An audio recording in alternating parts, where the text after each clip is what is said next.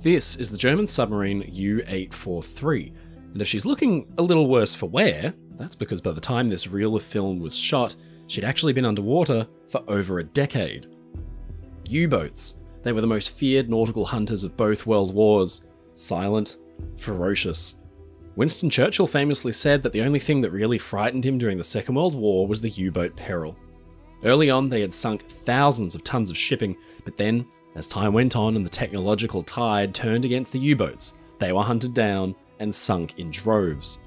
Decades later, some long lost U boats were recovered from where they'd lain on the seabed and boarded again, even by some of their old crew.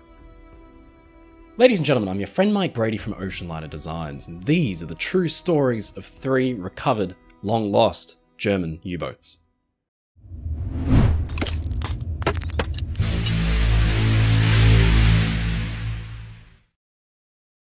First World War. The world's navies field massive battleships designed to lob devastating salvos at one another like prize fighters. It's probably the first mental image that comes to mind when you even think about the word navy, but a furious war was being fought beneath the ocean as much as on top of it, because below the surface, hunters stalked their prey and exacted a terrible toll. The submarine had been a 19th century invention that by about 1914 was refined enough that most of the world's major navies had put it into use. It was the German Navy which had deployed the submarine most successfully. In typical German fashion, they received a stark, to the point name, Unterseeboot, literally under ocean boat or submarine, and the U boat was born. They hunted alone or in packs, operating mostly on the surface until a target was sighted, and they would dive, carefully aligning their torpedoes and delivering a devastating payload. In the course of the First World War, some 6,000 Allied ships were sunk, totaling 14,200,000 tons of shipping. The U boats dominated the waves, but in 1917, finally, the tide began to turn when the Allies began to change their tactics and engage submarines that dared to attack escorted convoys. U boat losses began to mount. 375 were built, and in the end, 178 were lost in action. Because so many had been built, some ended up in weird and wonderful places. The U 118 was being towed after surrender when she broke her lines and washed ashore at Hastings in Sussex, providing beachgoers with what can only be described as an extraordinary view. But still, there were more incredible sights as U boats, which had actually been sunk with their crews on board, were raised and recovered. One of these was the UB 1110, possibly the last U boat to be sunk in the First World War. In July 1918, the boat was patrolling off the Sunderland coast in northeastern England. UB 110 was a coastal submarine designed to hug the shallower waters around Britain for easy targets. She'd sunk two ships in 1918, when her luck finally ran out and the British destroyer HMS Garry spotted her and ran her down. The British warship was commanded by none other than Charles Lightoller, who had been second officer of the Titanic. He was also a famous hard case. UB 110 was depth charged, damaged, and then surfaced, but not content to let the submarine fight another day, Lightoller swung his destroyer around and chased the sub down. HMS Garry rammed UB 110 and sent it to the bottom in a flash. There were only 15 survivors. But what may have happened next is horrifying because with the submarine gone and survivors bobbing on the surface, UB 110's commander alleged that Garry drew to a halt and its crew began firing into the water with small arms, even throwing lumps of coal. The shooting only stopped when a convoy of merchant ships arrived on scene, at which point Garry put lifeboats into the water and picked up the few that had survived.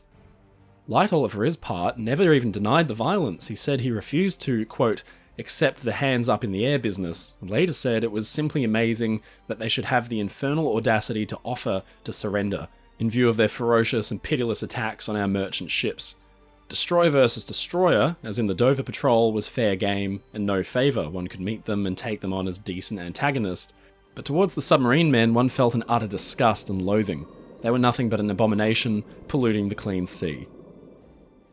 Two months later, with the war still raging, UB 110 was raised from its shallow grave with a view to recover codebooks, ciphers, and any other precious material. Not only that, but the boat could be restored and remarkably put back into action as a fighting vessel under the British flag. She was located from a dirty patch of oil staining the ocean surface, and it was found that the boat was some 144 feet or 43 metres deep. The photographs that resulted are nothing short of astonishing. These come from an album from the Tyne and Wear archives and museums, and show UB-110 in incredible detail after having sat on the sea floor for months. The control room was confusing, massive tangle of pipes, valves, and gauges. UB-110's bow was gone, it had either been cut off in the salvage or destroyed in the sinking. This photograph shows her torpedo doors and tubes almost fully exposed. The British salvors were horrified to discover the tubes still had torpedoes locked and loaded, armed with an infamously unreliable magnetic firing pistol that could have gone off at any moment.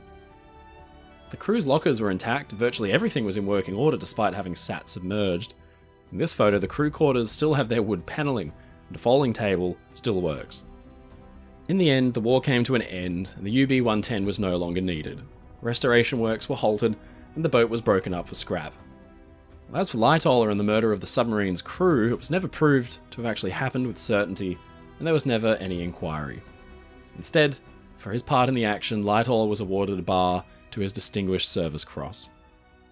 Flash forward about 20 years, and once again the world's major navies were at war, and again it was the German U boat fleet that was relied upon to inflict some serious casualties on Allied shipping. In the early days of the war, the U boats hunted with virtual impunity, almost undetectable and with no counter, but then Allied technology caught up and slowly the U boats transitioned from hunter to hunted. On top of that, Allied airplanes owned the skies. U boats spotted resting on the surface were bombed and sunk in droves. The U boat arm of Nazi Germany had the highest casualty rate of any combat unit in the entire conflict. Around 75% of all U boat men were lost. One victim of Allied countermeasures was U 843, a long range type 9C 40, a U boat that was motoring off of Sweden. Sadly for its crew, the end of hostilities in Europe was just days away when a Mosquito fighter bomber spotted their sub on the surface. A squadron of Mosquitoes attacked with rockets, and the boat was damaged. Repairs were underway when the boat suddenly capsized unexpectedly, and she sank so rapidly that only 12 men of 56 survived. This was the fate of many German subs in the Second World War, and usually this kind of sinking meant the U boat was lost to the deep forever. But U 843 was a unique case. In 1947, two years later, divers rediscovered her on the sea floor off Kattegat Bay, lying upright and intact. This sparked an idea. The boat had been carrying a valuable cargo of rubber, minerals, tin, and opium. The contents were valued at around £80,000, and the cost to raise the sub might equate to just about 20,000. After a lot of careful planning, it was in 1958, some 13 years after the boat had sunk, that U-843 was hoisted to the surface. Incredibly, her captain had survived the sinking and was on hand to supervise the salvage. I can't even imagine what it must have been like for him to walk through his lost command again. There's this haunting footage of him stepping through the bulkhead hatches and into the control room examining the contents of the sub. No doubt they would have had to have cleared the remains of his crew out from their boat beforehand. I'm sure it must have been an extremely emotional experience. In the end, U-843 was broken up for scrap in Gothenburg after the valuables had been retrieved, a strange footnote of recent history. But while German submarines were recovered by human means, sometimes Mother Nature did her thing and recovered some long lost boats. Recently in 2019, something interesting happened in Wissant, France, when the twisted and rusting remains of a German sub emerged from the sand and they told a fascinating story. In 1917, the German sub UC 61 was in trouble. It had become hopelessly stuck. The submarine was a mine layer, a part of the UC 2 class. The boat still carried torpedoes, but it also packed a nasty surprise weapon. 18 mines could be laid to catch out unsuspecting Allied shipping and sink them. At this, UC 61 proved very effective. Her career was short. She entered service in early 1917, but then over four months she damaged or sank no fewer than 15 ships. This was a decent record for a mine laying sub, but then her luck ran out. In July 1917, the boat was trying to lay mines off the French coast. The water was extremely shallow, and near Wissant, the boat ran aground and came to rest on the soft, sandy sea floor. For the captain and crew, it must have been frustrating to bring their successful wartime career to an end like this. At low tide, their boat was stuck high and dry, an embarrassing sight. They had to act quickly, they would be under arrest soon. They planted explosives and blew their boat clean in two. The explosions also blew off the bow and stern, exposing the torpedo tubes. Sure enough, French authorities arrived on scene and arrested the German crew, and after a brief stint as a local curiosity, the twisted remains of UC 61 were all but forgotten about. She was buried by the shifting sands and lost to time, But then in 2019, with the tide way out and after a heavy sea, locals were shocked to see a surprising sight. There, peeking through the sands, was the UC 61. The years had not been too kind, in fact, little of the boat remains recognisable. You can make out the outline of the pressure hull, which would have kept the crew safe from the crushing pressures of the ocean, and a general rounded hull shape. Locals say the submarine is visible every two or three years or so as the sea washes the dunes away. It's amazing to think the submarine was just left behind and sat there for over a hundred years, but can still be visited today. It makes UC 61 a unique site because most other U boats were lost at sea, and unlike the U 843, they would never be seen again.